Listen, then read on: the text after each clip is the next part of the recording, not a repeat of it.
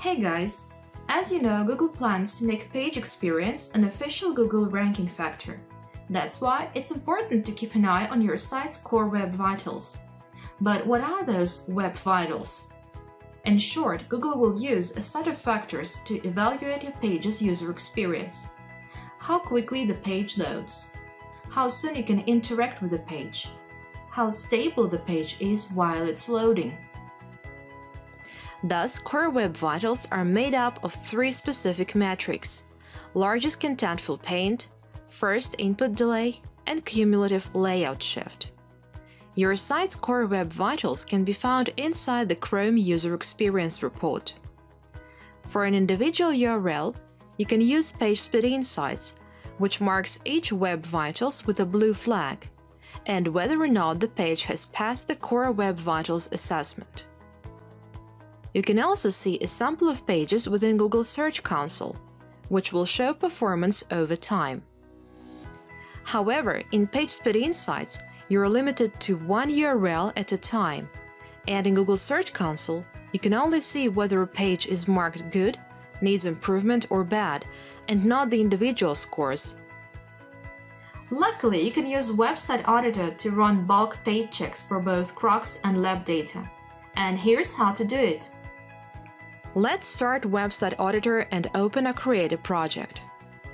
First of all, to get the PageSpeed data, you'll need to get the PageSpeed Insights API key.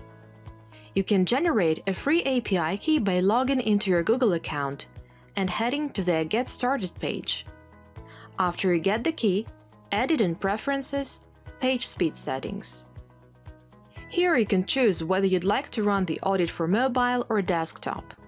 Simply select the required method and rerun the analysis at any time. Unlike most other tools, Website Auditor allows you to analyze the pages in bulk, to see all the found issues, diagnostics, and opportunities for the entire website. To analyze the pages in bulk, you can go to the Pages module, select any pages, hit the Update Pages button, and choose the page speed set of factors.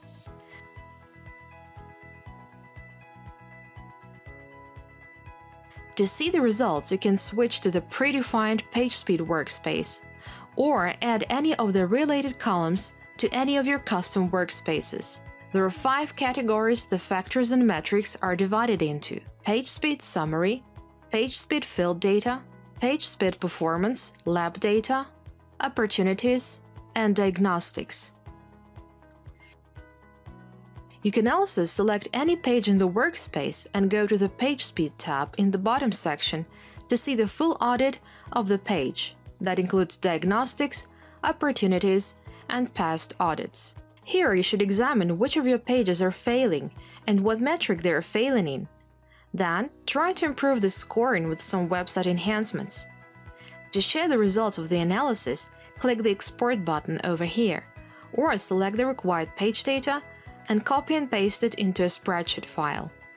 If data isn't populated against some URLs for Core Web Vitals, then it'll be because there isn't sufficient real-world data for these pages. There are various areas you can examine to improve your site's performance, many of which you can view directly within the Site Audit dashboard.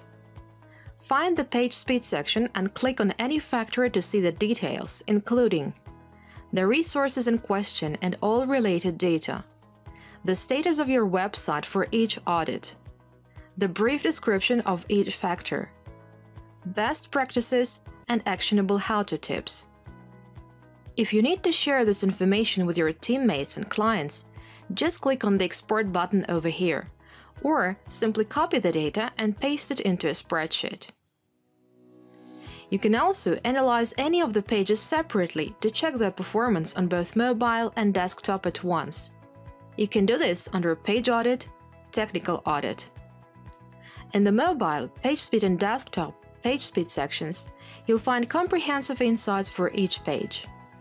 To update the analysis at any point, simply click the Update icon. For your convenience, the Core Web Vitals data has also been added to the Reports module. Hope this tutorial will help you use Website Auditor to analyze and improve your core web vitals, and more importantly, experience for users.